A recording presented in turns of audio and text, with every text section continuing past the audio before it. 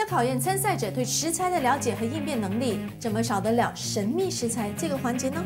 没错了，就是薰衣草。其实不是一件简单的食材，因为在我们呃马来西亚很少用到薰衣草来做甜品。可是没从来没有用过拉贝达，用 mandarin 拿去烘，然后我再撒一点拉贝达 seed 在那个 mandarin 的底部，拿出来的时候会会有味道。星期天晚上九点三十分，甜点之王甜蜜送上。